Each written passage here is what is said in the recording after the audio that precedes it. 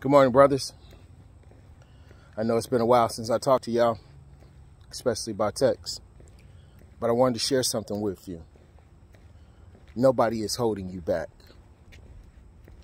Nobody owes you anything. And you are where you are because of three choices. The first choice is the things that you've chosen to do. You got to check whether you're making good decisions, bad decisions. Are you choosing to do the right thing or the wrong thing? The second choice that you're making is the things that you're allowing to happen. Some people call this no choice, but this is actually a default choice.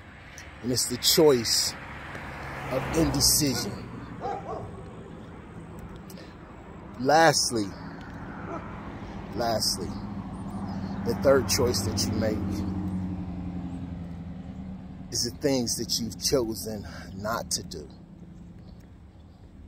Sometimes this is good when you choose not to do the right things.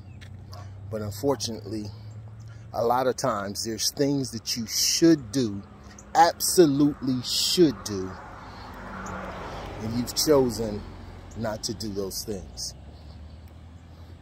So I say again, nobody owes you anything. Nobody is holding you back but you. And you're holding yourself back with three choices. Fix the choices, brothers.